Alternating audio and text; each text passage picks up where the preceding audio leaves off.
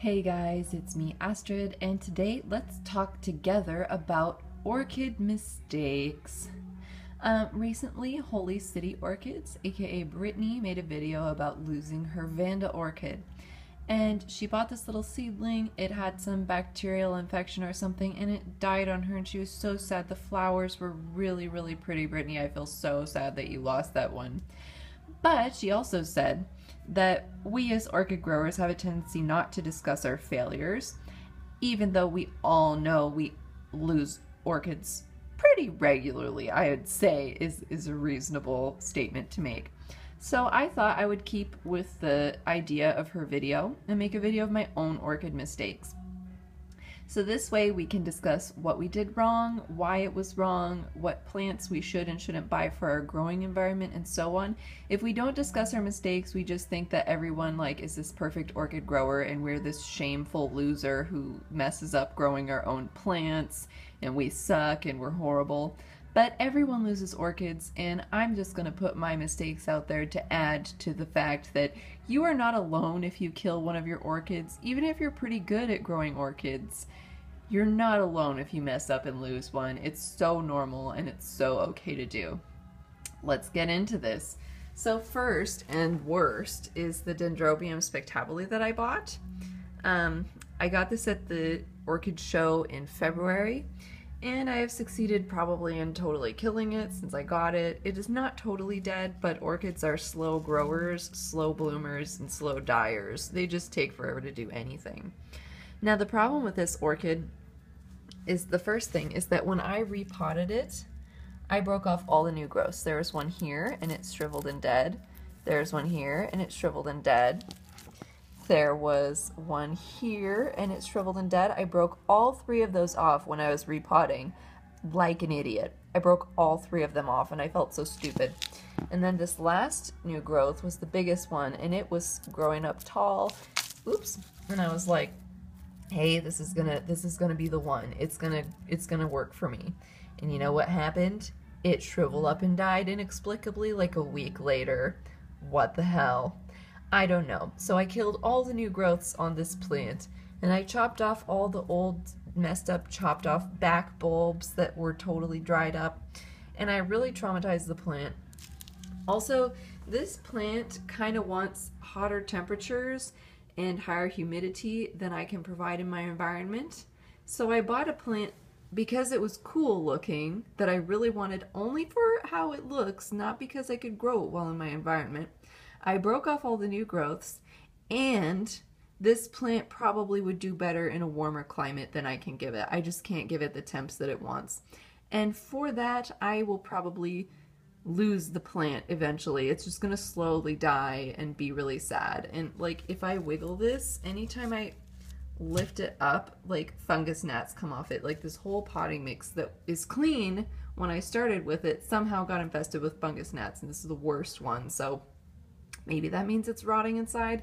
I don't know. I'm just embarrassed and I feel stupid for my mistake. So this is the worst one. This is really, I feel bad about it.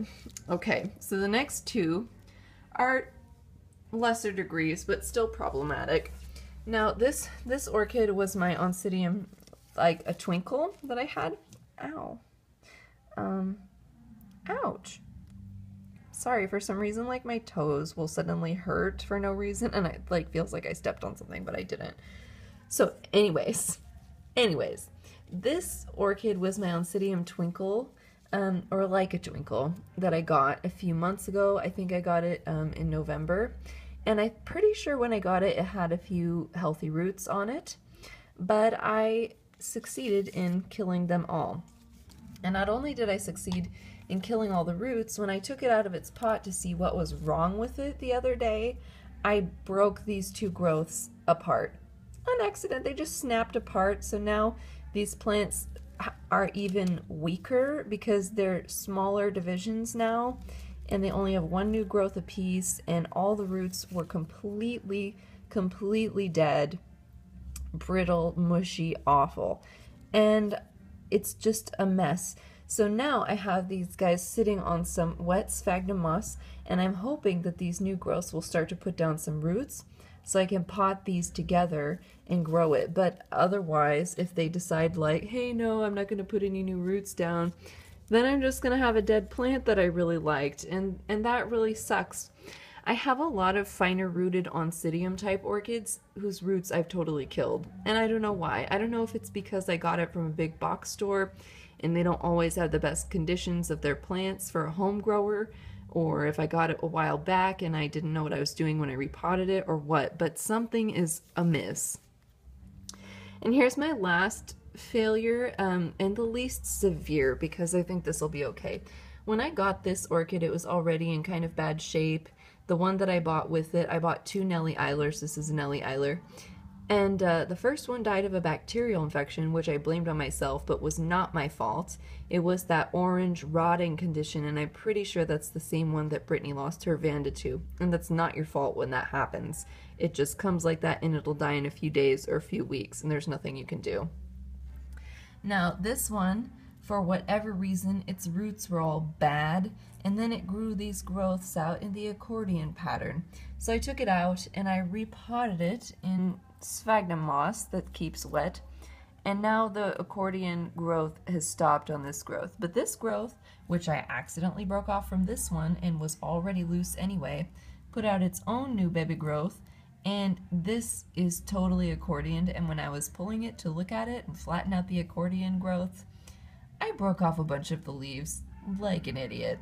However, this is growing some new roots. I think this will recover within a year. It'll be fine, but these are my mistakes. These are the things I've done wrong. So, in the comment section, if you want to share a sad story about how you lost an orchid because of your fault or no fault of your own, please feel free to share. If you share, we can add to our collective orchid growing knowledge and become better growers. So if you need to vent your sadness or vent your frustration with yourself because you did something dumb, like buying an orchid plant that's not probably suited to your growing conditions and trying to grow it anyway, let me know. Share. Let's become better growers together, friends. All right, thanks so much for watching. Um, I hope you don't screw up your orchids too bad this month, this year, anytime in the future. But if it happens, I'm right there with you. Take care. Happy growing. Bye.